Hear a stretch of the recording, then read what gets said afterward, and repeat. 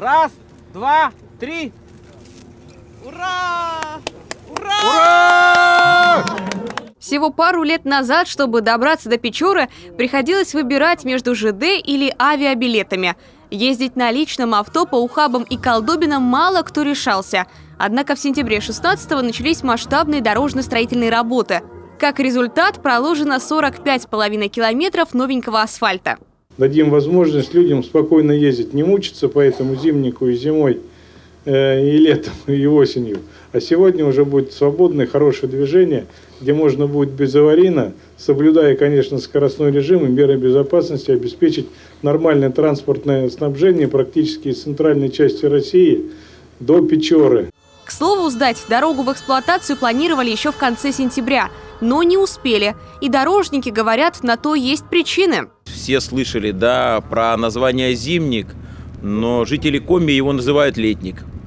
То есть это как бы основная проблема, то есть это автотранспорт, который постоянно шел по дороге, и нам из-за него приходилось как бы останавливать свои работы. В защиту местных скажем, что они не только мешали. С первого же дня стройки на ней трудились не только рабочие приглашенной федеральной компании, но и здешние жители. И еще повод для гордости. Исключительно весь щебень, а на работах было задействовано около 100 самосвалов, был привезен с нашего Чиньяворика. Идем по абсолютно новой дороге, соединяющей и Райоль, и Каджиром. Если раньше водителям приходилось ездить по объездному пути, который размывало от любой непогоды, то сейчас, будь то снег или дождь, путь на Печору открыт.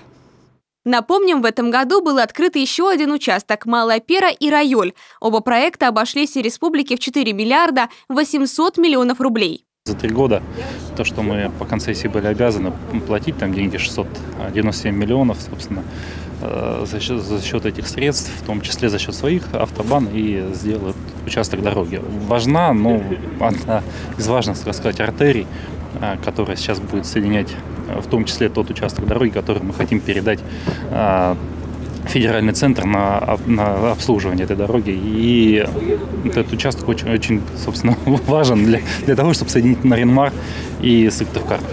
В целом день для Ирайоли оказался богат на праздники. Так, в поселке в этот же день открылся храм в честь святой Анны, который местный предприниматель Михаил Шерига построил на свои кровные. Сначала планировал кафе, но после вера взяла верх. И сегодня совпадения, но совпадений и случайностей не бывает на самом деле перед очами Божьими, потому что сегодня осветился новый храм в Ираеле. Ираельцы построили со своим Михаилом Михайловичем этот прекрасный храм. Реконструкция и строительство дороги Сыктывкар-Нарьинмар на этом не завершено. В перспективе строительства автомобильного моста через реку Печора, дороги до Чикшина и участка Кабантевис-Малая Пера. Сдать последний планируют уже в следующем году.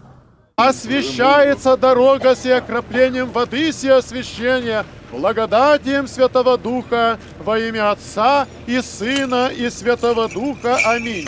Анна Зубарева, Олег Юшков, телеканал Юрган, Сосногорский район.